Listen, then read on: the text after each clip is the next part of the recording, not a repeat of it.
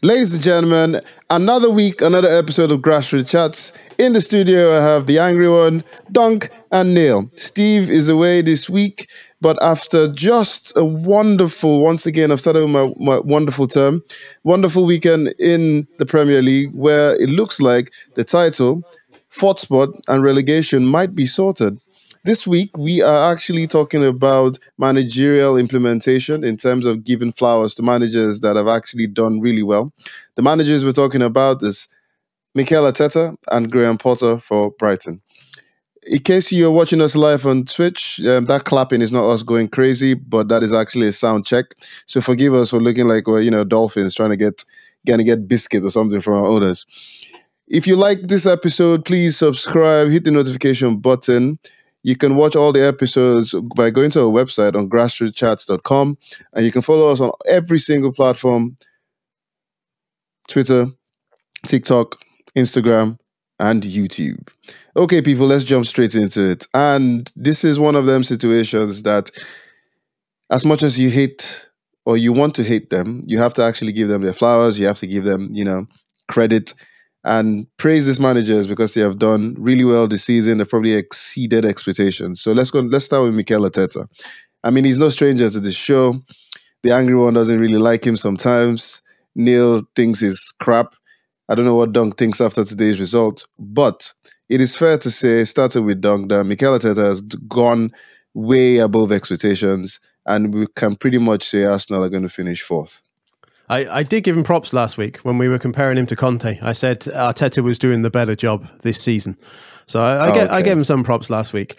Uh, yeah, so again, like yeah, good result today. Uh, just just got it out the bag. Leeds were coming back at them in the second half near the end, but they probably should have wrapped it up a bit quicker. Um, but yeah, in the whole scheme of things, um, it's looking like fourth place is going to be on. Okay, so it, still still can't tell. Uh, it's, it's, it's so fickle with football, you know. If, if they're in the spot, it's like Leeds down the bottom. If you're in the relegation, oh, you're down this week. But then if you're out of it, you're, you're staying up. So it, it's a little bit fickle there. But I, I think they're I think they're going to do it. It's it's nice for them now that they have that uh, game in hand with Spurs where they can afford to actually lose it and still be ahead of them in the table. So yeah, it's looking really good for them. Uh, but yeah, in the, in the scheme of things, like I said, I gave props to Arteta last week. Um, I think he's done a good job. Definitely uh, bringing in youngsters, which is nice. He's made a couple of signings, which maybe haven't been like the best this season, but hopefully they'll be uh, performing in the team a bit better next season. But yeah, I'm, I'm definitely going to give him some props for doing a good job this season. Breaking it down into a journey that Arteta has gone through this season and looking at how things started, Neil, did you did you think Arsenal would have been in this position, looking at how the season started, losing their first three games? I mean, uh, before those first three games, yeah. I mean, will they have a blank checkbook to? I think it said 100 million. New keeper, uh, 150, 150, few extra players. It wasn't like there wasn't any investment this season into the, the playing squad. The whole, they're all young and stuff. That's what. It's not like they're academy players that they brought through everybody from the academy. So, I think there's an element of you're you're you're bringing youngsters into the team, but you've bought those youngsters as well. So he has to be held accountable for a lot of those purchases. Uh, in that he's done well, he's had a good season. I don't I don't know if I saw them come in fourth in the league uh, at any particular point, even though they've been in there. And and and to be fair, over the course of the season, they've continuously played. I don't want to say amazing football. They've continuously stumbled their way through the season. Uh, uh, I want to say a array of um, getting better, grinding out results. It's not necessarily the most attractive football that, that Arsenal have ever played, but at the moment they're learning to win, which I think is a really, really key, important thing for Arsenal to to do and to get that into the DNA of these young players to win by at any means. So yeah, um, I think he's done all right. Has he done as well as he should with the amount of money he spent compared to others? How much leeway do we give him of of coming fourth in the league. I mean, I I think it's a good uh, project that he's done, and they've given him time, right? And there's no point of, of anywhere in there where anyone was saying he needs to go, or you know, that the, there was rumblings from the board. I don't, I don't think that was ever on the card. That gives the players confidence. I think that gives everybody else confidence associated with the club as well. So, kudos to I say to the Arsenal board as well for having stuck by their man where other other clubs would have folded and faltered and got rid of him maybe when he was stumbling around seventh and eighth at one particular point. Um, but yeah. Well, yeah, he has done really well. The angry one, you've had your fair share of how Arteta has done or not done, or you know how things probably just stumbled by luck into the Arsenal team. But it is fair to say that at this point, could could we actually stop calling him Pep's assistant? Are you going to actually respect him as a manager, given what he has done this season with the resources he has had?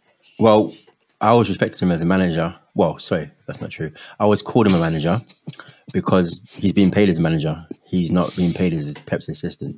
It's like what Neil said last week about uh, um, it, it is fair to to compare him to Conte because they're both Premiership managers. So that was never an issue for me. He has flopped a lot of the times, let's be honest. But res- results are the results. He he is where he is, whatever the reason is, poor position, luck, whatever. He is in a good position to get fourth spot. It's not a, it's not a foregone conclusion. It never is with Arsenal. But like, so for example, Eddie Nketiah scored two goals today, but he was on the bench for donkey's years and we were playing Laka. He scored as many yeah, goals. Yeah, you're never going to forgive Arteta for no, you know. No, hold t- on, hold on. He scored, he, he, he scored as many goals. Gabriel and and and Nketiah have scored as many goals as Laka, who's our main striker. And by the way, that's only four goals. It's not like it's twenty five. So you can't blame Eddie for not playing. You can only play. You can only blame Arteta for not playing him. And the only reason why he played him is because um, Laka had had COVID. So it's never like he just thought, "Oh, okay, let me play him." So you you have to bear that in mind. He it's worked, but it, it, it's not a masterstroke. It kind of he kind of as per usual stumbled on it, but he'll learn from that, and hopefully he'll he will he'll he'll kick on from it. We we beat we beat a ten man Leeds two one, shaved it. Probably should have done them over a little bit longer, but ultimately at this at this stage of the season, it's just it's just the points and the ball that matters. So uh, he's done better than expected. I agree with with Neil that he spent 150 million, but let's be honest, when you're when you're in your overdraft, 150 million is basically a minus. We're already at a minus anyway because we were so far behind the top teams that, that 150 doesn't really it doesn't really count if you think about it. Really, we, we, we only spent 150 million just to be fairly competitive, if, if I'm honest. So I, I, wouldn't go over the top about how much we've spent. Um, but I agree with Neil again about them being. We can't keep hiding behind the fact that they're young players. They're they're not they're not kids. They're they're just young. Yeah, I mean they're not kids. They're yeah. not kids. We can't hide behind the fact, as Neil said, the, it's not like the they all just came from the academy, but they are young. And yeah, comparing them to the experienced players that the Premier League has, it is it's still it's it's always very um, shocking, I guess, if that's the word you, you want to use, when these players are brought up and they do as well or even do better than people expected. Going to Dunk, should some credit be given to the Arsenal board? Now, the reason I ask this is because Arteta came in, it was the whole conversation about a project. So he must probably have given them like a blueprint of what he wants to do, how he wants to implement this project. And of course, results didn't always go his way, but now he has stuck with it regardless of even if the angry one thinks you know some of these things happen by by chance but you're stuck with the blueprint it's working dunk is trust the process being established nicely yeah, well, I, I guess uh, Mike, Mike's probably not too happy about the the last few managers they've had in the process there. Um, but yeah, definitely with Arteta, like it, it, seems to be it seems to be working out. It seems to be a good move. I think they maybe they were kind of forced into that move after trying a couple of other managers like Emery. Uh, poss- possibly like the same kind of situation that Man United are in at the minute with like trying out established managers. Leave us out. Leave us out. Let's just stick to. Just a passing leave comment us now. uh, yeah, so I again, like I, I don't know all the ins and outs of Arsenal, not being a fan. So just just from the outside, it seems like they're they're they're going in a good direction at the minute. Um, again, it, it's like how, how, where the direction goes though, and just on the point of like the the transfers are coming up. Um, like I, I quite like how he spent his money like on on some younger players as well. So instead of just trying to get in like established players, um, again maybe bit shy to do that with bitten by uh, the Aubameyang experience and things like that, and Pepe. So it's it's nice to see him like go down that youngster route. So I think that's that's a good path to take. I, if, if, that was my club, I'd be pretty happy with, with that route as well. Uh, but again, yeah, I, I'd say like as an outsider, it looks like they're on the right path. the the real acid test then is where where it happen goes next season. Is he going to push on from here? Is he going to maintain the level? Is it going to drop off? So we'll we'll see how they do next year. We shall see how they do next year, but till we get there, let I think this is one of them situations where Arteta has gone against some nice pivotal moments this season, and it's looking like every decision he has made, whether you like it at the time, is coming out to look good. So one of the decisions I think he must have, you know, shown the blueprint. This is what I want to do. With time, it has actually gotten. It looks like it's working. And uh, one of the situations I think he has handled well, which were very critical, was the transfer market. So, Neil, I mean, we didn't think he did really well not buying anybody in January or the way he has handled some certain players. But once again, is this a case of the end is justifying the means? No, I don't. I mean, I don't think the transfer market potentially has been great for him. He's he, he's bought so he's bought Ben White, been a good signing. I don't think anyone can disagree with Ben White as as has, been good for Arsenal compared to what you had, right? Um, Odegaard, Ramsdale. He's bought Tomiyasu, Lokonga, and Tavares. Tavares and Lokonga, Tomiyasu. I mean, a bang average at best for any of those three, which combined is what Tomiyasu? Nutcase. Yeah, man. Are you mad? Yeah. Tomiyasu? bang nah, bang average, man. That's 15 million there on, between those three players. Oh, shut up. What are you talking um, about? Tomiyasu, Big Tommy, Big T. By the way, I made him all You were just names. comparing to but what still, you had, right?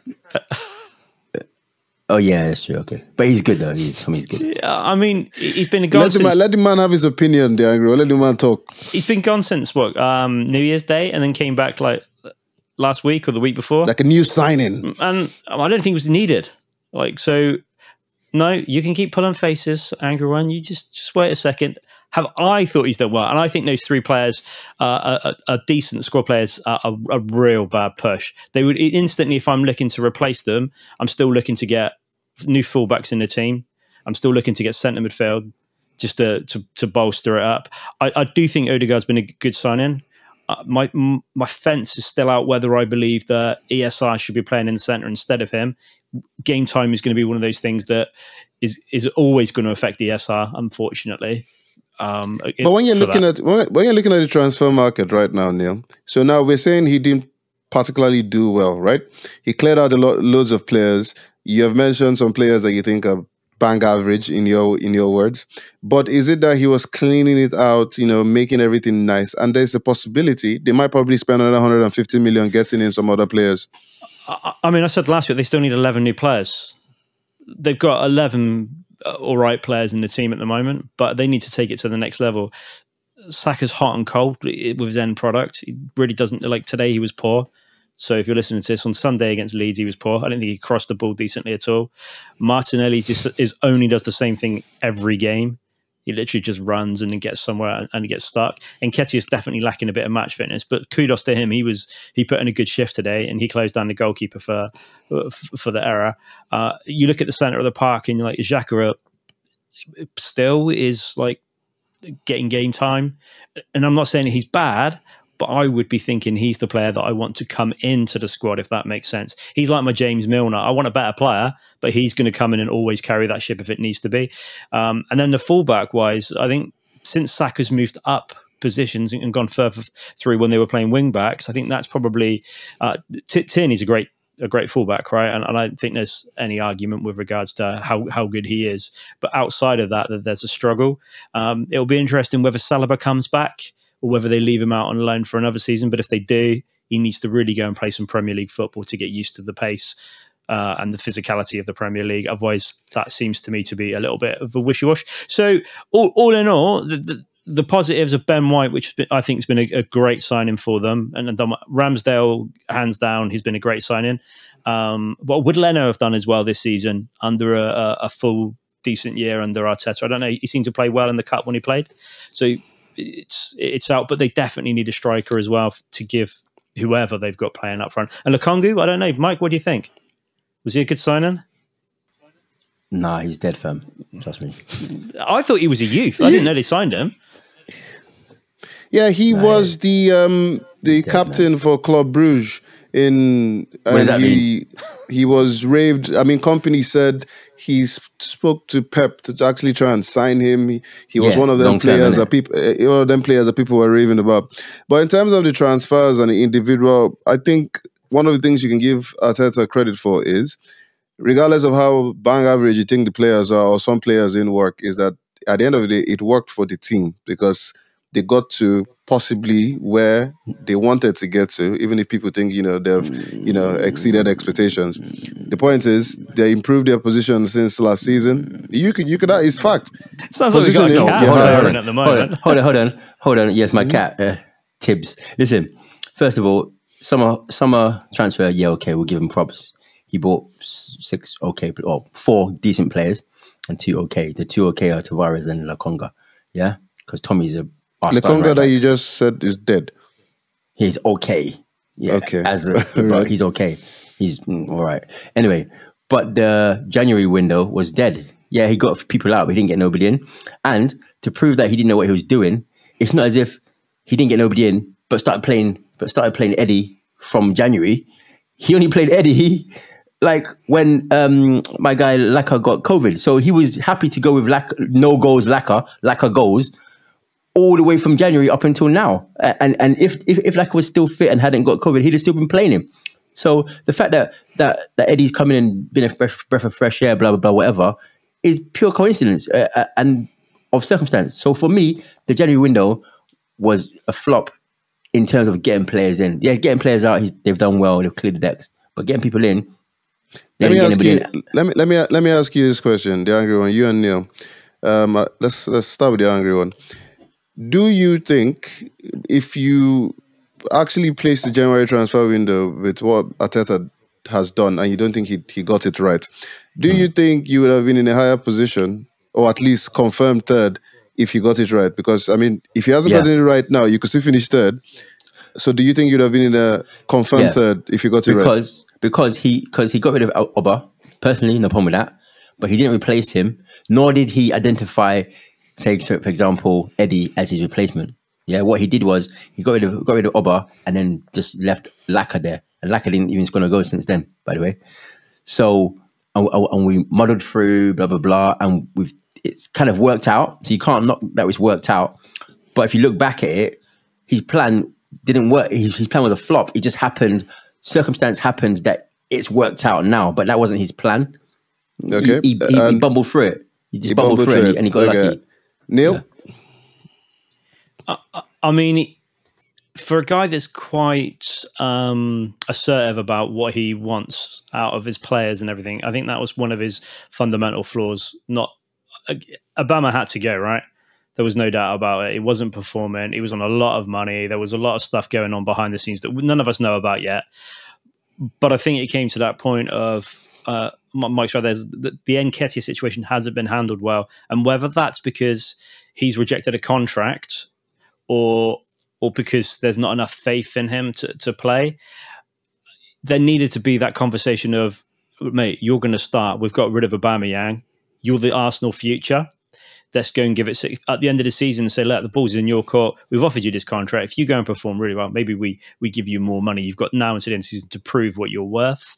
Um, and that hasn't been vocalized. There hasn't been anything in there f- for that. So that kind of is a bit weird. And then not getting a backup striker is just um, ridiculous. And Pepe barely plays any football. So if Pepe's going, Pepe needs to, to hurry up and go. So w- would they have got third? I think this Premier League's probably been the weirdest Premier League that I remember.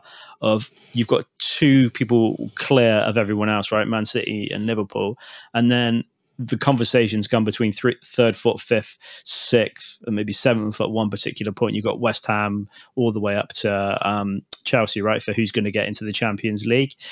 But no one's had that form of they're going to get into the Champions League. It's almost like when anyone gets any form, there's this really bad patch for three games that they have of where they go and lose. And I think that's the same with Arsenal, uh, Tottenham, and Chelsea this season. So you can only win what's in front of you, right? And be as good as you are. He was never going to be as good as the top two. But I think maybe that shows that there's a massive gulf between everyone else and, and the top two.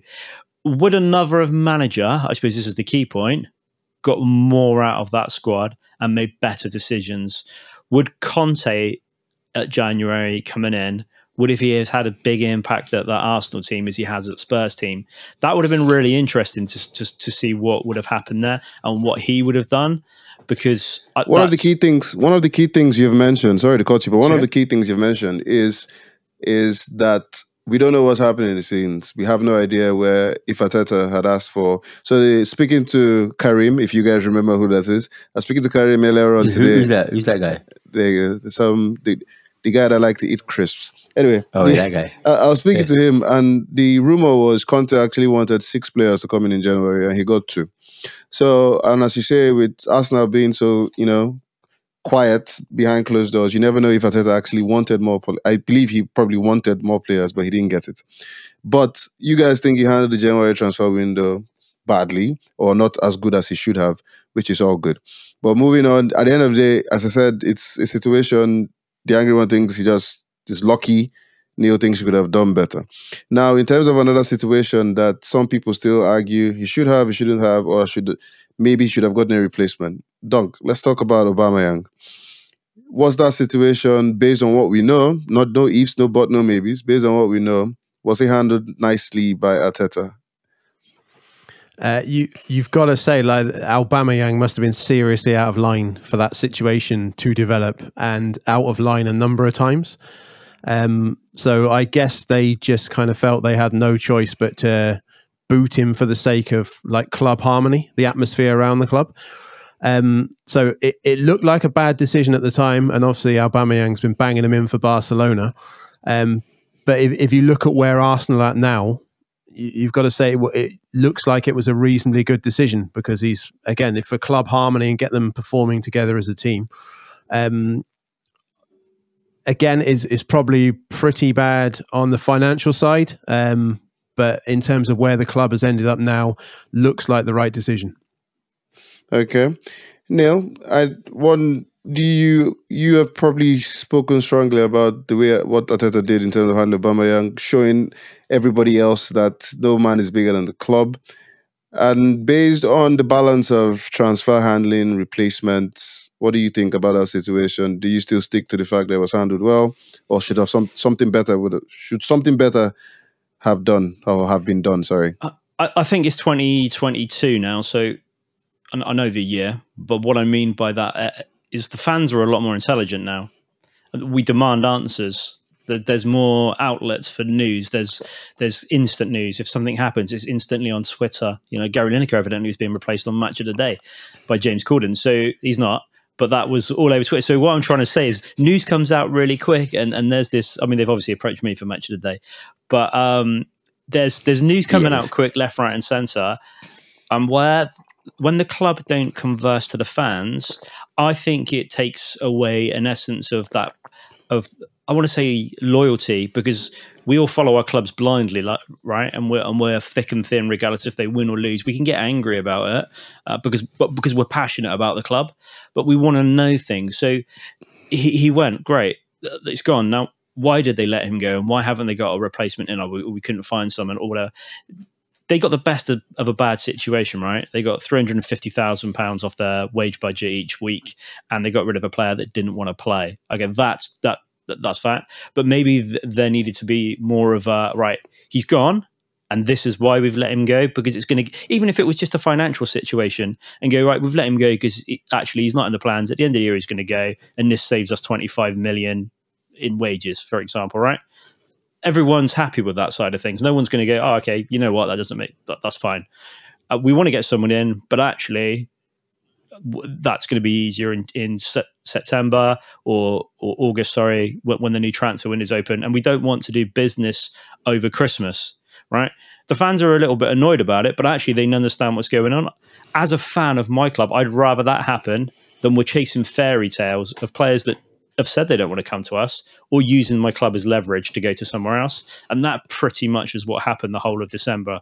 It was chasing this, sorry, January. It was just chasing a one player who never said he was going to go there and always sounded like he was caught in other clubs.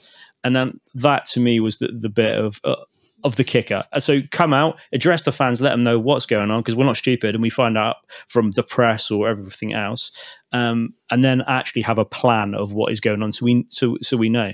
I'm not an Arsenal fan, but I was still annoyed by the whole situation. Handled well for getting him out, of course. Ladies and gentlemen, this I I, I, I love my my wonderful pundits because this is the only show that we're actually here to give the manager flowers, but we end up talking about all the things that they've gotten. Wait, wrong. why are we talking? Why? What's this flowers theme anyway? First of all, it, no, America, America, Americans say it's not. We're not literally giving him flowers. However, okay. you mentioned that you think he handled the Aubameyang situation well. Yeah, but so I, I don't. I don't agree with Neil on one point. So, uh, and that's regard to fans. Well, he used the word intelligence so I, I won't diss anybody's intelligence, but I, I, I would say, in terms of fans knowing about information, I think that's debatable because if Aubameyang goes and you get somebody else in, whoever that is, and, and they're banging goals, fans have a short memory. No one's going to care why Aubameyang did it. He was late, he wasn't late, whatever. No one's going to care because the, the guy who's replaced him is banging in goals. And that's all that people care about what fans care about for the most part at the end of the day. Some fans, like like, like Neil, who reads the Guardian, whatever, might be there, find, want to find out why, why, why, why, why. But most fans that Financial read the Sun, Times, yeah, the ones that read the Sun and the Star and that, they just want to know that their number nine or the number ten or whatever is banging in goals, and, and that's the bottom line. So the problem with the transfer, from a fan's perspective, is they didn't replace him or they use Laka who wasn't scoring goals. But but by your same logic, goals. if they get in the top four, the fans are going to have short memories and they won't care as well. Yeah, yeah, exactly, exactly, exactly. So all, all, all, all that matters is, is, is, how that goes on. So even though we're, we're, moaning now in the short term because he didn't replace him, it looks like we're going to get in top four anyway. So by default, as as you mentioned before, Julian, the ends justify the means somehow. But he kind of bumbled through it.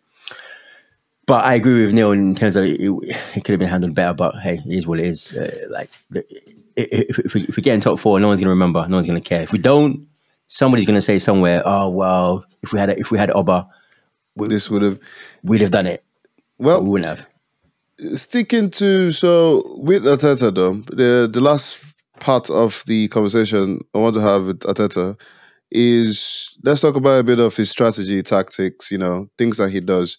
And in terms of this his style of play, so from what I understand, and correct me if I'm wrong, Doug, you see Odegaard is the main guy. He's the, the most creative guy in the team. He plays wingers, kind of, or forwards, if you want to, in Saka, Martinelli. And he kind of makes the midfield when if he has everybody fit, Xhaka, Partey, his defense have been really good. Gabriel and Ben White have done, at least once again, if you're comparing to last season, and their partnership has been solid this season. So, did he, like most good managers, did he find that one formation with the personnel to suit that? And that was what made Arsenal play at least better than everybody else that's been competing for the fourth spot. Dunk? Yeah, so at this stage of the season, like pushing top four, you've got to say he's found some some of the ingredients for for success there. Um, obviously, he he comes from Man City as Pep's assistant, so that's the kind of school of football he's he's been trained in. Uh, that's what he aspires to. So obviously, when he's coming into Arsenal, they're not going to magic wand from Arteta, just start playing like Man City. So again, there's that kind of transition period where he's he's bringing in the youngsters, trying out the new players, and he's trying to get the system over to what he's used to at Man City and get it to that like aspirational level. Correction. Correction. A lot of people say Arteta gets his thing from Pep. Arteta is a product of the Barcelona system. So that that that tiki taka football or whatever he's trying to implement is something he has always known since he was a kid. But isn't Pep also a, a graduate from the Barcelona system? Yeah, that's fine. So, but you can say Arteta is trying to do what Barcelona does, not what Pep does. Because everybody but, thinks but every every everybody makes it sound like he learned everything from Pep. Arsenal don't play tiki taka. So yeah, but not you're, yet. You're talking about his playing days. So, like as a manager, I think you're going to take more from if if you're a Pep's assistant, you're going to take more about the management side of the game than when Agree, you were a Duncan. player. Keep going. Don't worry about him. no, but you could you could learn from the most If, almost if, anybody if we that's want to been in Barcelona. anal about where it's actually from, it's from Johan Cruyff and they're from Ajax. So if we want to trace the, it back, that's the days of total football, right? And then going through. No, he didn't. He didn't play there. he didn't play there. he, he wasn't even alive. Definitely didn't learn it there. he wasn't even alive. That's where it goes back to, and that's the philosophy of the total football, right? Go on, Duncan. Your point was really Okay, well, valid. yeah. Anyway, like wherever he gets it from, I'm I'm going to argue like he's going to obviously take more of his managerial style from learning as an assistant manager to Pep.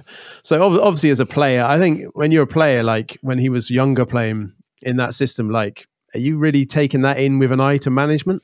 I mean, you're going to take it. In, do. Some players do. yeah, you'll you'll you'll take a lot of it in in relation to your your gameplay and fitting in with that system. Um, So it's like I mean, if if if we're using that situation and Pep didn't, so Pep learnt everything he says he learnt as a player under Johan Cruyff, right? So he was never his assistant. He was never in the team when Johan Cruyff was the manager. But he says his philosophy, which he kind of enhanced a bit, had put his own spin to it, is from his playing days, pretty much. Yeah, but So- was under Moyes and Wenger in between that. So th- He, there- he just he, he well, Wenger is pretty much tiki taka, and pretty Moyes. much. Moyes, no, that's he Always had to block out wants his to be for tiki taka. Oh, so so so all that all that time he played for Moyes, which is longer than he played for Anyone for, else. for for for Wenger, he blocked that part out. But then suddenly when he played for Wenger, he, say he, he opened his mind again. I didn't say that. All I'm saying is that his DNA of football is from the Barcelona system. It's But- not. I don't understand I, what. I would say what, Pep, what Pep was in a more privileged position. Like if you're going to try and play that system, you're Mm-hmm. at Barcelona. It's going to be a lot easier than like bringing that system into Arsenal, for example. Uh, yeah. So my my point really was like he's whatever wherever he's got his views from, he's got his aspiration of how he wants his team to play football, and he's going to have taken it from Pep and taken from some from Barcelona in his playing days. Uh, so he he's kind of like obviously got to make that progression. Like I said, you can't just come in and expect players to be playing that especially established ones in the team. So yeah, I again like I think he's done a, a good job. He's found some of the magic formula. He's got them playing. Um, because where you guys are saying, where you guys saying about the uh, January transfer window, what wasn't that massive run? Surely mo- most of that big eleven or twelve game run that must have been after January. And then they only had the three game dip, and now they're on a decent run again. So, like since January, like they've been doing pretty well. Well, Yeah. sticking to stick, sticking to strategy and you know philosophy. In terms of strategy, Neil, what's the best thing that you think Arteta has done for the Arsenal team? Uh, I think what he wears on a touchline for me, he, he comes across as he, he's well presented. Um, it looks the part. Gelled hair. He's got that dyed hair. It's beautiful, man. Um, so regardless of um, we've already touched on where, where he's got his footballing philosophy from. From by all accounts, he was a note a note taker always. When he, especially when he got to his thirties, he was taking notes and he was trying to get as much information about tactics and, and what to do and, and learn it. And he he. Mo- I don't care what anyone says. Moyes is a good manager. He's done well wherever he's been, apart from United that gave him like three weeks and that was it. Um, so M- Moyes has done. That's right, Neil. Moyes has done well. the well. fans are intelligent. At They'll research. at He Everton, didn't do well at Sunderland, did he? Hey, look, look, Everton and West Ham he's done well at, right? And there is there is clubs. No one else cares about anywhere else he's been. He's he's done well. I think he's learned from Pep that there's a lot of fundamentals and man management skills that he would have learned uh, working with the older school generation of Moyes, who's who's been through it all. If that makes sense, he's worked in the '90s, the noughties, and the t- and 10s, 20s, right? He is he's seen generational changes of how to talk to players, and these are the bits and pieces that as a footballer going into that next level uh, of hierarchy, he's going to have had to learn. So to get his point across and how he deals with different personalities, he's probably done quite well because he's managed to. And he's managed to get Xhaka back in the team, and no one cares about the fact he threw his fucking shirt on the floor and had a hissy fit. Language. Do you know what we I mean? Apologize. Yeah, I apologize for that. But no one, no one cares about that anymore, do they? Like that, that's moved on. So, and he's also got. There's been a couple of games where they've not been at the races, but generally they're playing as a unit and as a team. So regardless if they go wrong a bit here and there, they're backing each other up a lot more. And you don't actually see much fighting in the games in between players. That it's kind of a they're still really missing that awesome uh, captain that probably is missing from all gen- uh, this generation anyway of, of, all teams to bring the players up. But other than that, then I think they're really working well. So for, for me, his man management is probably the key to his success, regardless of, of, of any of his tactics. And I think he's he should be applauded heavily for for that. All right. And to end the Arteta topic in terms of doing well and exceeding expectations, the angry one you talk about things that he stumbled into, things that he gets wrong. In terms of strategy tactics, what's the one thing that you can applaud Arteta? First of all, I'll say his man management is mm, so-so because he he only really looks at a smaller squad. So he, if you're not in his, if you're not one of his favourites, then he excludes you. So that's why the Nketiahs weren't playing. That's why the, that's why the Tavares weren't playing. That's why the Pepe's ain't playing. So I think if you're in the limelight, yeah, I, I, I disagree. Great. They weren't playing because they weren't good enough. Pepe's not been good enough since he signed, and Tavares isn't good enough either. And Nketiah, but he's playing now, had to come into the team because they had another striker. But the others but weren't good enough, right? Than, but but now but but now but now looking at it, he's doing as well as the guy that he replaced. So you would have to question why didn't he play a few more games? But anyway, that that that's besides the point. Although it is the point. But anyway, um, with regard to what he's done well, the best thing he's done is stamp his authority by getting rid of Aubameyang. For me, because he said, "Look, I'm not taking no shit. Uh, this guy's going. I know he, he's a big figure in the in, in the team, best player in the team allegedly, on the biggest wages, the captain as well. But he's taking liberties. Do one. don't care about the cost. He's got to go. Everyone else will be like, "Raw, what's going on there? If, if, if, if this guy can go, I need to fix up." And then ever since then, like Duncan said, we had a good run. We had a dip now and again, but I think that that that made the that sharpened the focus for the for the squad. Maybe that's because Aubameyang was having a bad influence. Maybe not. Maybe it's just the fact that it's it's a statement, and everybody else then falls in line. Pick your pick your poison. But I think that was the best thing he's done, because the other things yeah, kind of hit, hit and miss. He you, we can debate whether or not he stumbled upon it whether it was deliberate or not. But only, but we know what is deliberate is that uh, that Aubameyang goes, and for me that that was a good decision, regardless of where we finish fourth or not. It it, it seemed to galvanize the, the team, as, as Neil said, into in, into a harmonic situation. Well, it's a season that has shown progress for the Arsenal team, the Arsenal manager. Some may, may or may not like his style or what he does or feel like he stumbles into things. But a few more games in the Premier League and we'll see where Arsenal finishes. They are in the fourth spot, four points ahead of Tottenham, just before the North London derby. Let's see if there are any twists and turns for that position. In terms of also recognizing good managers with good implementation, good project skills, we go to the seaside are they the seaside? Brighton's manager, Graham Potter. The Seagulls, now. Seagulls, yeah. Mm. Um, so one of the the best thing every time we talk about Graham Potter, the thing I talk about here is knowing how to use your resources.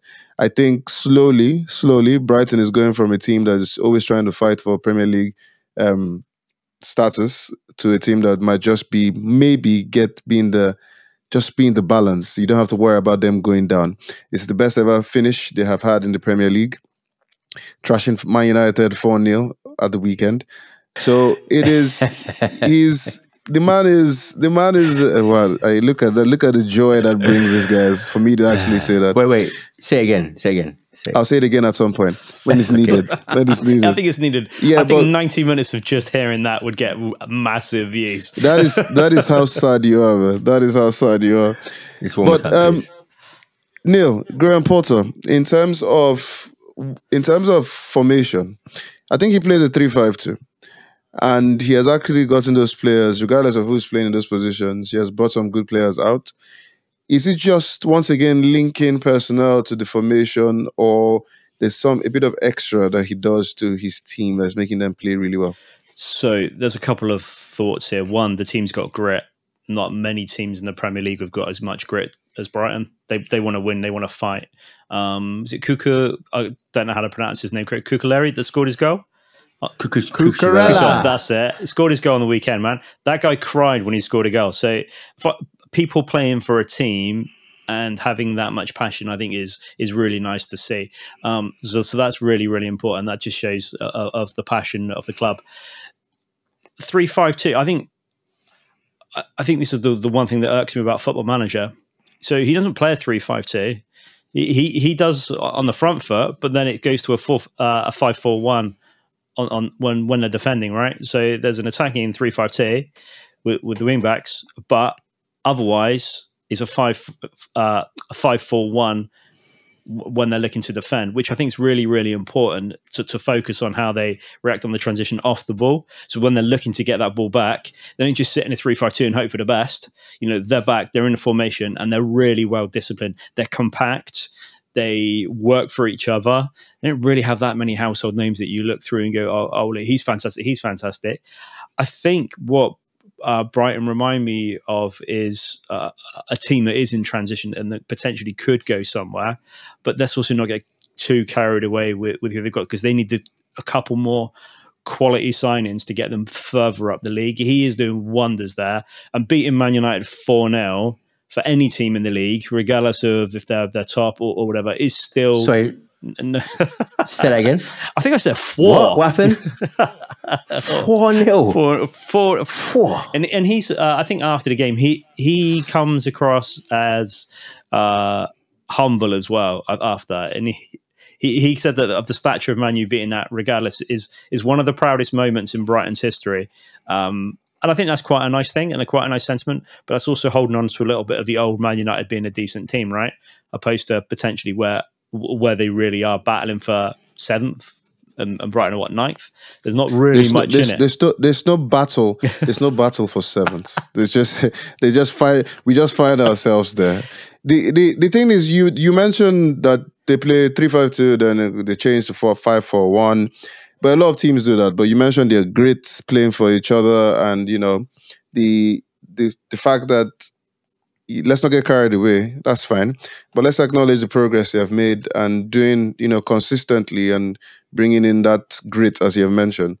Now, Dunk, the question I do want to ask you about Graham Potter is: is now that he's doing as good as he can for Brighton, do you think it gets harder every season, especially if he doesn't use, they don't give him enough money and resources?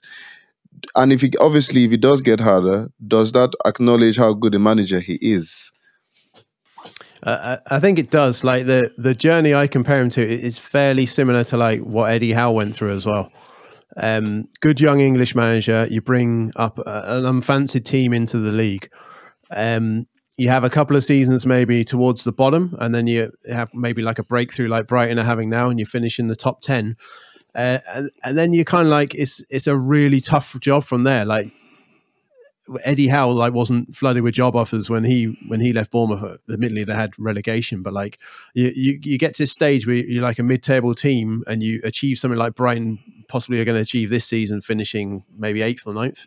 Uh, and then what happens from there? Like you have to consistently hit that. So I'd say the job does get harder once you once you hit that certain level.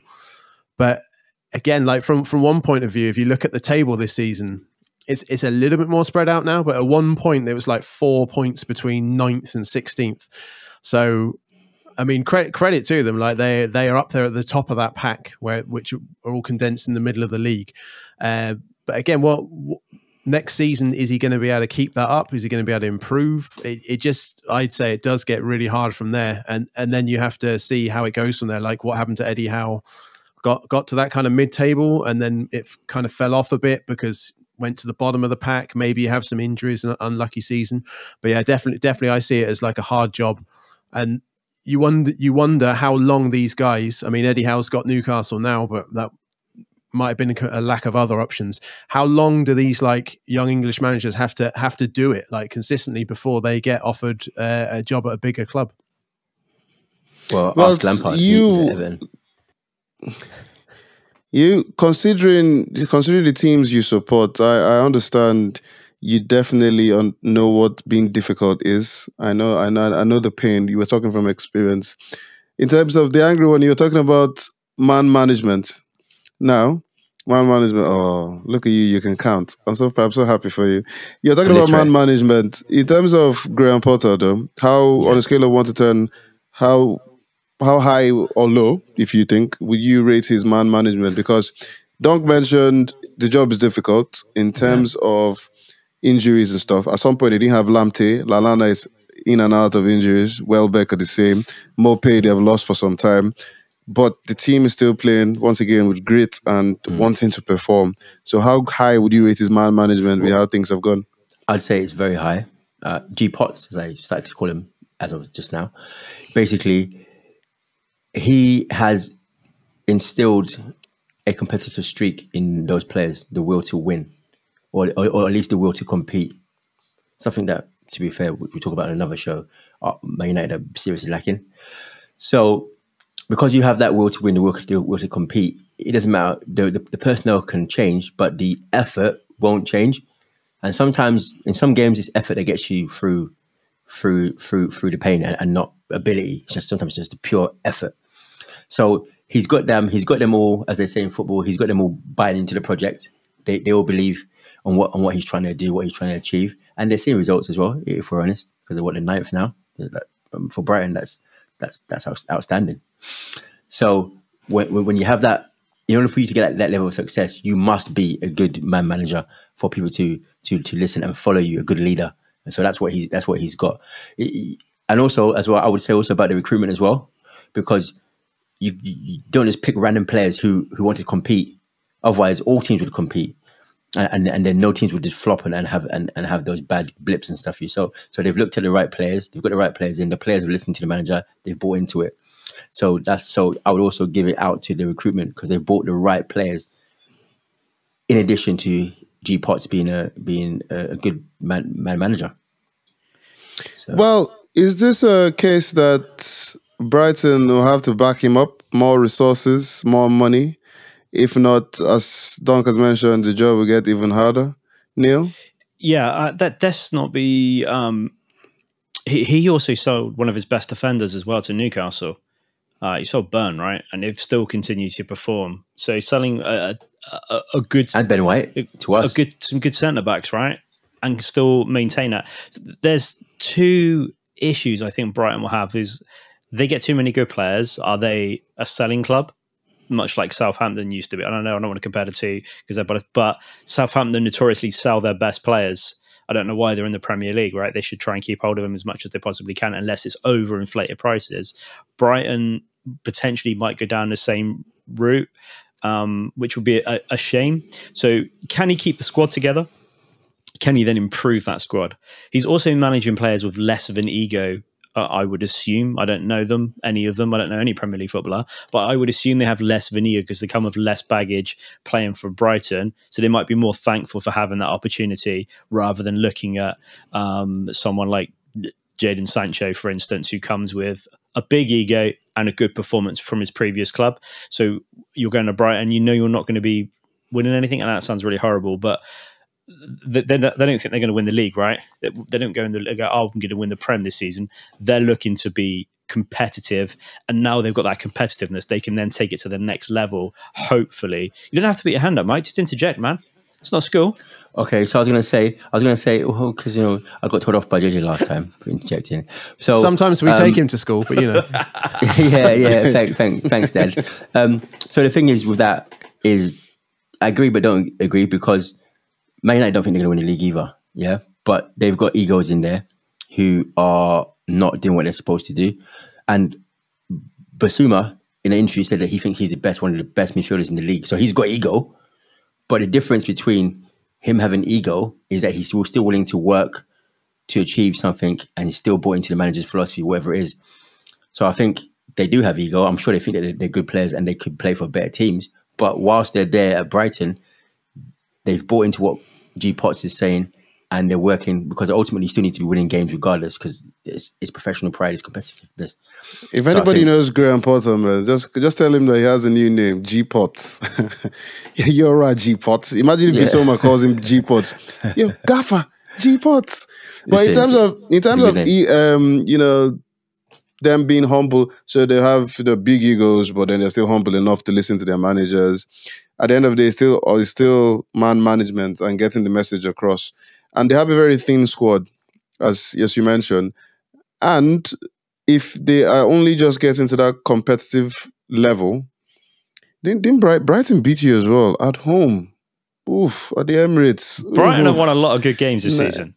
Yeah, beat Tottenham, beat Arsenal. Anyway, anyway, but you can keep doing. Am I United on holiday? The players are gone. Anyway, so, but Graham Potter, interesting job. Is there? A, I'll ask you this, Dunk. Is there a limit? Is he is he going to be one of those situations like Sean Dyche? That is there a limit Graham Potter can get to where he has to tell himself, look, I need to leave on a high because I've taken this team as far as I can, especially with the resources. Because it's always the case that what these managers do is wait too long till things start going badly. So, is there a limit to? Do you think this is the limit? Do you think they can get even better next season? Yeah, that's what I was talking about about being hard. Like, what realistically, what is the limit for Brighton? Is, is it Europe? Are Brighton going to qualify for Europe? That's probably a, a bit of an ask. So again, like the the limit at the minute probably would seem to be securing top half finishes. Obviously, if you do that, you get more money. Um, like like Neil said earlier, he's mentioned in Southampton. Southampton are probably like one of the most extreme or well known cases in the league for selling their players. But I guess the like the the realistic situation is that those kind of clubs are going to have to sell like star players. They're going to want to move to bigger clubs if they have outstanding players. But again, like like mentioned earlier, like what Mike said about signings, they they've got some made some really good signings. They've got some really good players uh, in their team. Um, but again, like from his point of view, from the question you asked, like, do you stay too long? Like, no, no manager sees it coming that like relegation or a, a really bad season. If, if you get like if you achieve something with a club, you'd have confidence in yourself that you're going to be able to do that again. Um, and and kind of going back to the point that I made earlier, like, are, are is he going to get a chance somewhere else? Is someone going to give him a chance? You, would hope so because like he's done a really good job. Again, young English manager. You'd hope someone gives him a chance. So may, maybe it'll be the situation that someone will offer him something uh, while he's just consistently doing a good job at Brighton. That, that's what I'd like to see anyway. Do so, sorry, can I just put one thing in there because uh, I think he's, he's got some good points, but I think there's uh, for me there's a slight difference between Brighton and and Bournemouth. Um, and if I go back to Charlton, like they were uh, a team that was up there for a, a, long period of time until they got rid of Curbishley, but they had a, a, ambitions above their their station at that particular point. I, I think it's Bournemouth didn't get backed in the transfer market, right? Eddie Howe wasn't getting backed, which I think was probably the the worst thing. I don't think he was that they were investing enough money into the squad. Brighton seemed to be investing into the squad each season, which is which is progress, which is a, a good thing. Leicester done it and managed to get back up, get into the top, win the league. I know it was a, a fairy tale, but they they have qualified for the Champions League since. So there's no reason why why these lower perceived stature clubs can't actually reach for the stars and get at least a top seven finish, which is European football or a, or a decent cup run. So I think that would be the next step. As long as he gets supported in the transfer market and continues to get some of these unearth these gems that no one else is going for, or, maybe they are, and it's just a better proposition going to Brighton. I don't know then they carry on like that. The, the upward trajectory for me is top seven and starting battling and overtaking where where Wolves are uh, and looking to to be against the West Hams of the league and, and potentially, you know, th- there's a massive gulf between second and third now in the league. So, if, if you're talking top seven, like count, count them out. You got you got Liverpool, Man City, yeah. Man United, Chelsea, Arsenal, Spurs. There's there's six straight away. Like is a club like Brighton going to be able to compete with those six? Like so, then basically then you're you're scrapping over, like you said, maybe that last spot there against. Well, they've beat everybody. The they've beat most people this season, right? And they've had off days. That's the problem. Mm. You've got to turn those th- those around. So I, I, don't think that they should. And, and, they, they haven't got a top striker. They haven't got a top striker either. They haven't got. They haven't got a prolific striker. They've got Welbeck and they've got Mapoy. Um, Mapai. Neil Maupay. Yeah. They have yeah. Trossard. Yeah, they have. Yeah, but they're wingers. Also, I'm saying, regarding Potter leaving, he's not going to leave. Why would he leave? Only top tier managers like Pep can say, oh, "I'm leaving" with with no job or or or maybe Conte or on. But Potter's not going to leave and do what? He's got no nothing to go, nowhere to go, and, and, lose all your comp- compensation, even from a financial aspect. That's just dumb. So he's he's gonna uh, also he's gonna believe in his, his abilities. But even even if he thought, you know what, I'm not up for it. He's still going to keep playing, uh, keep working until they sack him and they pay pay him out. Who's, who's going to leave before that? That's a madness. Come on. And, ju- and just to respond to Neil, Neil was like saying about Bournemouth, like Leeds are facing the same thing that Bournemouth went through. Like one one season, you get key players injured for long long long layoffs. I mean, Brighton have had it a little bit. Bissouma was out for a while as well. But like a season like that can just just crock you. You could be down. Yeah, but don't. We're, we're talking about proper teams here. yeah. But if Leeds invested, I think that, that- that's the I problem. think Bournemouth right? are officially a Premier League team. They are now, yeah. But they're not uh, investing. I No, this think- is ne- next season. the the investment's been poor, Well- right? And I think that's the key thing. I think the recruitment. So so if it's part of by, it's not going to be Potter by himself, but his team are an awesome recruitment team, and they're getting in the right recruitment. So respect for him for getting that recruitment policy right, and everybody else, and putting them in place. But that. That should go across the whole of the Premier League of looking through and taking that as an example of we're getting players that fit our team and our style. And I know there's top teams that do it, but it's it's it's really good and uh, impressiveness for a mid team. If if they get Eddie next season, top seven for sure. Which, well, there you go, G Potts. Good, good, Eddie good Guerrero. advice. good advice given to you. If you get Eddie, you shall finish seventh. Well, I think it's been a good season for Brighton and Arsenal, even if the season is still on. And as you, as Dunk said, we still have a few more games, so the position might change and it might actually go higher. Mikel Arteta, G Potts, Graham Potter, we applaud your managerial influence this season. Now, moving on to the weekend fixtures and all the things that happened in the in the Premier League. Let us break it down into the relegation. We'll start from the bottom. So Watford has been sent back to the championship, and as Dunk mentioned, we have Fulham and Bournemouth who have been automatically promoted. Dunk is happy as Bournemouth happens to be his second team. But let us start with Burnley v Aston Villa. Neil said he really hoped Burnley goes down. Dunk loves Aston Villa as Gerrard has given them the new manager pump. He, he got my seal of approval last week, and he's fully There justified that this week. All right, I like it. So okay, let's start with you, Dunk.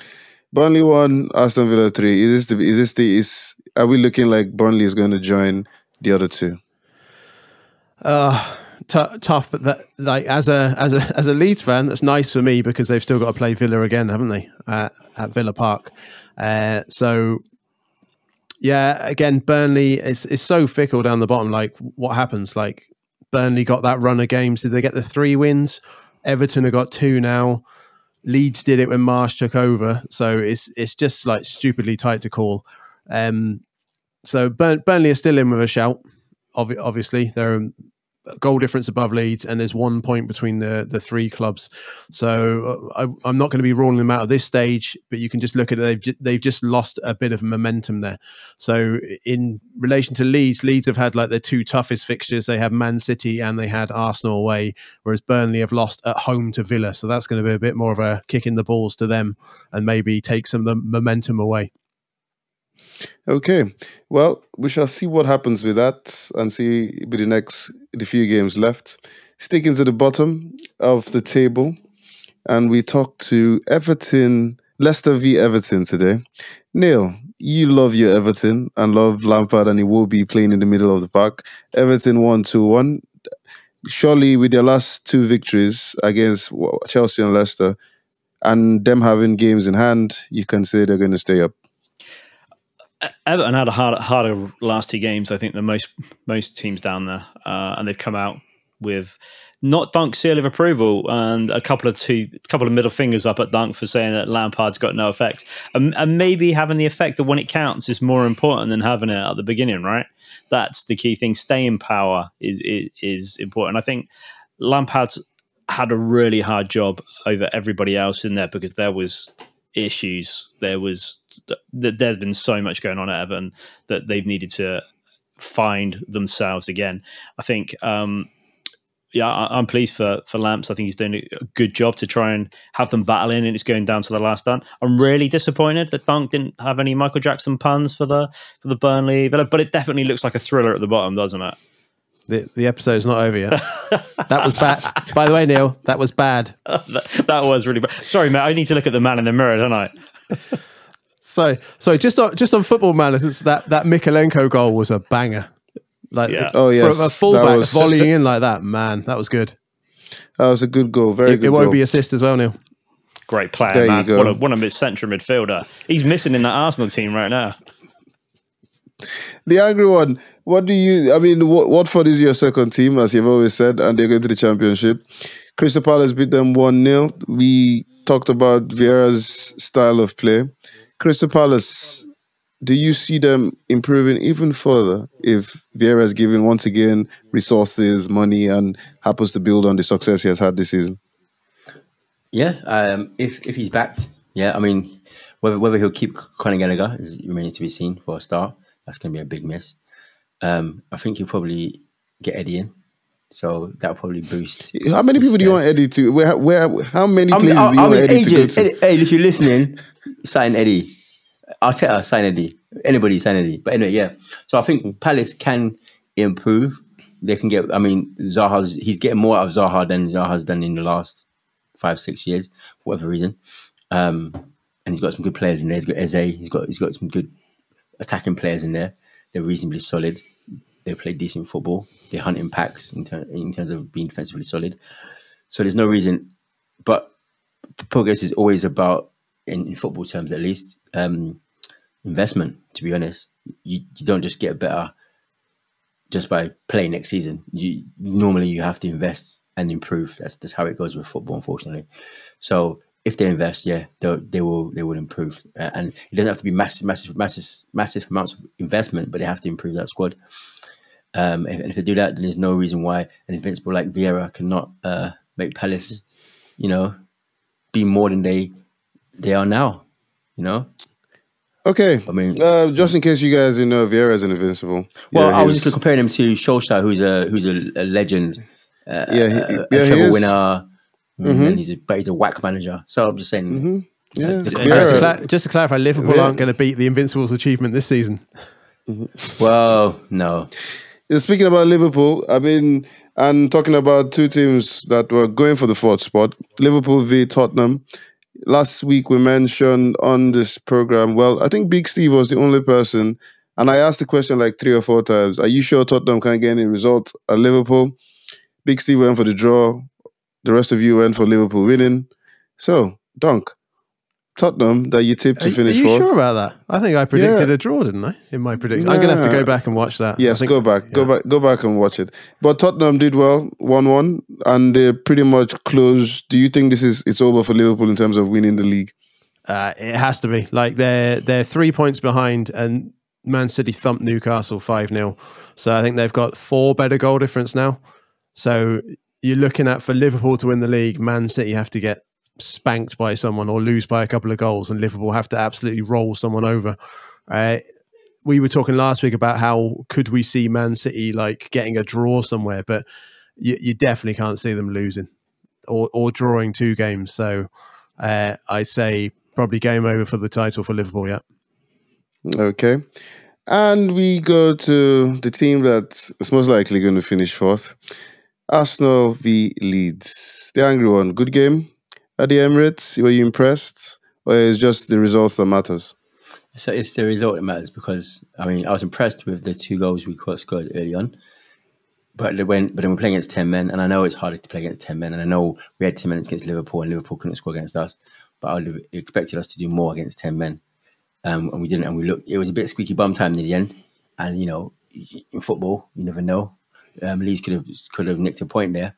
So uh, the latter part of the performance wasn't fantastic, but I mean, if you look at it from another perspective, Arsenal learning to win ugly. We, we won ugly the last couple of games, uh, and to be honest, that's a, a skill in itself.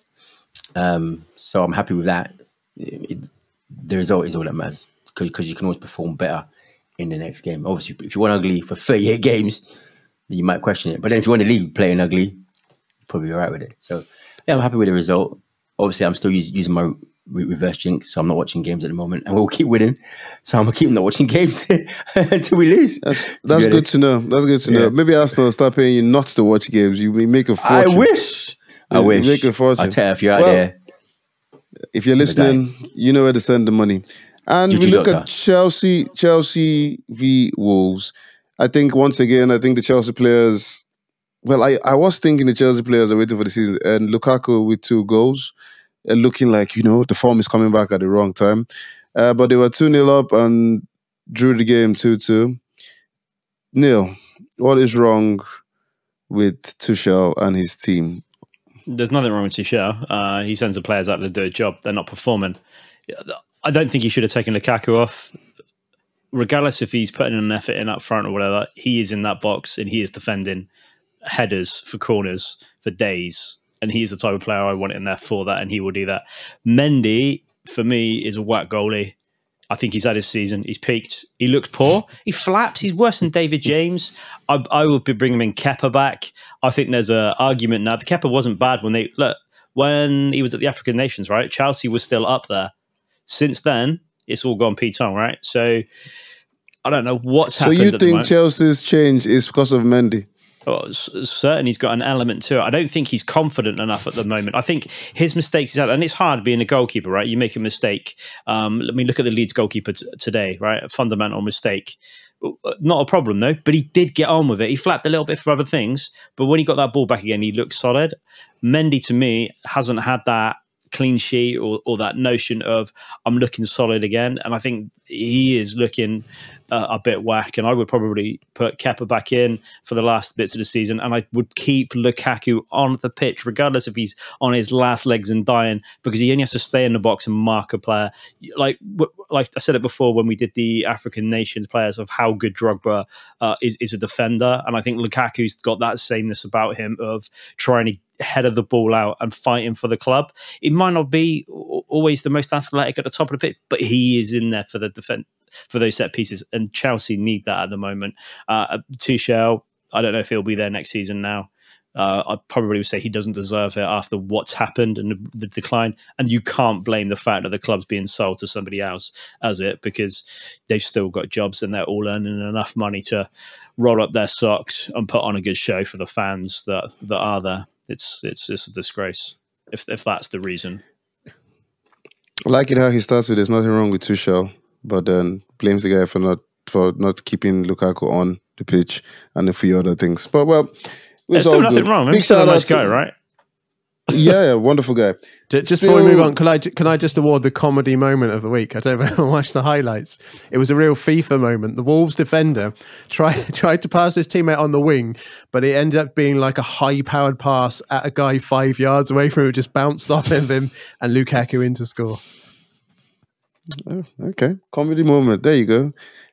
Proper Big shout out to Brentford winning 3 0, Brighton 4 0 against my United and um, West Ham beating Norwich 4 0 and keeping their Europa, you know, league hope alive. Moving on to the fixtures, ladies and gentlemen, on Tuesday, the 10th of May, Villa v Liverpool. So at this point in time, let's just get the results in. Do you think Villa will help seal the league for Man City?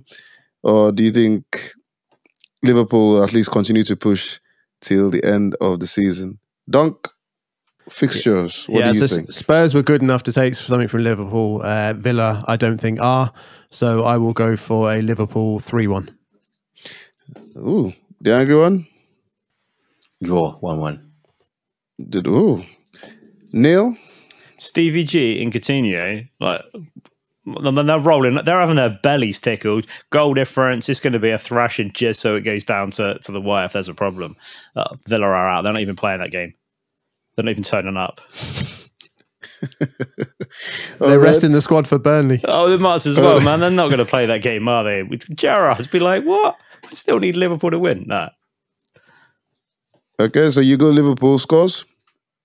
Well, scores. I mean, if if Villa turn up, uh, it's six, seven. Uh, literally, it's going to be that high. What? They need the goals, man. I don't think Villa are even going to care. He's going to be like, look, it's my old club. Come on, guys. Coutinho's all right. No worries. It's, they're going to roll over. That that game is not that's that's dead for them. It's not important enough. All right, we shall see. Wednesday, Leeds, important game for Leeds. Leeds versus Chelsea. The angry one. Leeds win 2 1.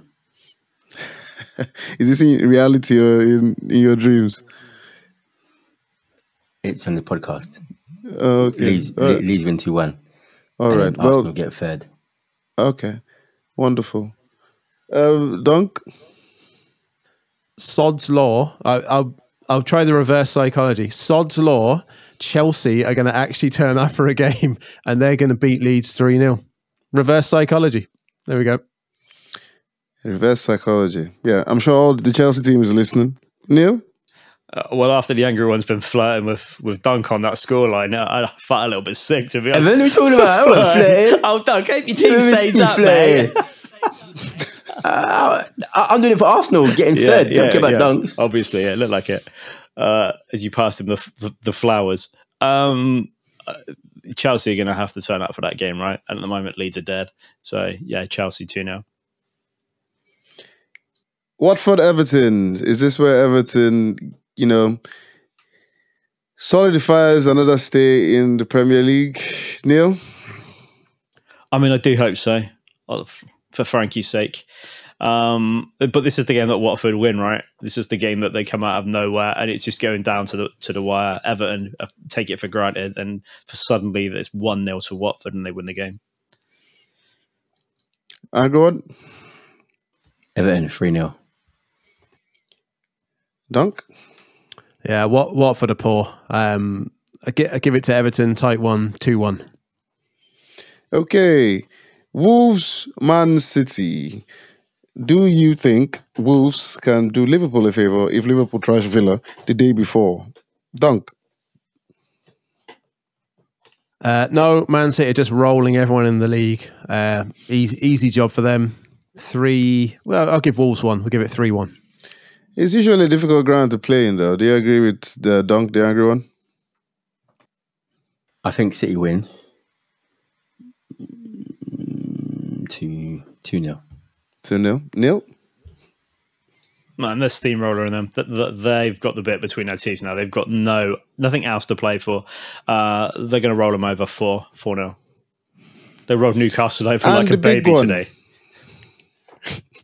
and the big one, well, it, it, it would have been big, but let's just say it's still big. The North London Derby Thursday. Let's start with you, the angry one. And please, no reverse jinx, no whatever turnaround spins. What? And oh, in my dreams and in my reality, who wins the game? Football head on. Draw. Mm. Score draw, nil nil. 2 2. 2 2. Would you look at that? All right, Dunk. Uh, I, I went for Spurs earlier in the season, didn't I? I, I think they've still got a bit more quality than uh, Arsenal, so I'm going to go for Spurs two one. They they got a point at Anfield. That's like big. And Neil, Arsenal have got one job in that game, and that's not to lose. Uh, if they can't get a draw out of that, that's just it. They're dead. Uh, but I think they'll they'll get a draw. Well, I think it'll probably be nil nil. It's going to be too tight. Well, and that brings us to the most prestigious cup competition in the world.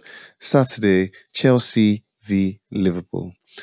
The dreams for quadruple might have been mm, tainted a bit, but do Liverpool still have a chance for the FA Cup against Tuchel's wonderful Chelsea? Dunk. Uh, yeah, I backed Liverpool to win win the cups. I'm going to go with it. Uh, Chelsea just too inconsistent. Um, Liverpool have lost the league pretty much now, uh, so they're going to be right up for that. Close, close game. Chelsea put up a fight. I'm going to go for two one Liverpool. Okay, Neil. FA Cup final. This is Chelsea's to win, right? They've got they they've got to win something this season. Havertz hat trick, three 0 Chelsea.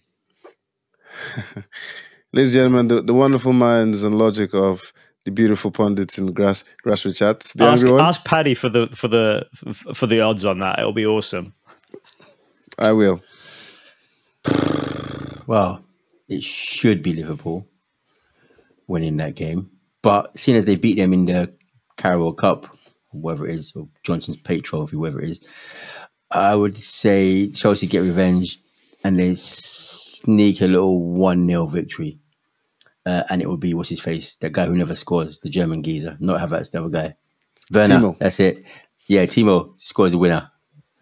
Okay, ladies and gentlemen, there you have it. You have the predictions for the fixtures for the up- upcoming week. Let's see if any of these guys are actually correct. And of course, going on to the final segment of the show, player and flop of the weekend. Dunk, you've already given us comedy moments. Who's the player and flop of the weekend? I'll, I'll, be a gracious loser, and he is an ex-player. I will give Player of the Week to Nketiah. Uh, two goals, and I like to give it to players that like showing a bit of progress and form as well. So he he's got a few goals. So I'll, I'll give it to Eddie and see him after the first goal. He didn't want to celebrate. I, I don't know if it's because against Leeds or the goalie mistake. He celebrated the second one a bit. Yeah, yeah. Uh, so player of the week, I'll give to Nketiah. Uh, flop of the week, uh, I'm giving it to Rangnick for, for presiding over that four 0 and I think he's just taken Man U nowhere this season. So I'm giving it to Rangnick for flop of the week. Neil. Yeah, I'm, I'm with uh, Dunk. I think you've got to give it to Maguire uh, this week. He can't even get in a team that loses 4 0 against Brighton. Like, but you don't get any worse than did, that, right? Did, did, you see Varane was trying to do his best Maguire impression? Oh, man, he was literally like Maguire. I don't know what's gone on there. They, they must go out and go, play football. How? just, just play football, right? Uh, what any any formation? Just just play, right? You've all got you know where you play. Just go out. Um, and I'm gonna give it to the player from Brighton I can't pronounce because he almost had me in tears when he was crying himself. And anyone that's that passionate about football deserves to be player of the week in my eyes. You'll, you'll probably find out from the news that his mum died last week. oh no no no no! Yeah. Like, rather than passion for football. I hope not for him. Player and flop, the angry one. Players got to go to Eddie them two goes. Yeah. Flop is Manchester United in its totality. So that's the fans, that's that's the stadium, that's that's the sponsors, that's the players. Everything about Man United right now is a flop, big time. I don't know how you go out and lose four 0 to to to to to Brighton. I just I just and you're Man United. but it's entertaining, so it's fine. All right, ladies and gentlemen, that brings us to the end of the show. Thank you for listening. If you like what you hear, like what you see, please hit that subscribe button notification. Follow us on every platform TikTok, Instagram, YouTube. And of course, you can find all episodes on our website, grassrootschats.com. It's been another weekend of entertaining, thrilling football. But all this week, we have concentrated on giving the managers the flowers, as they say. Well, as it stands now, it's a goodbye from Dunk. See you later, guys. Goodbye from Neil. Take it easy. And the angry one. Peace out, people. Until next time, more things.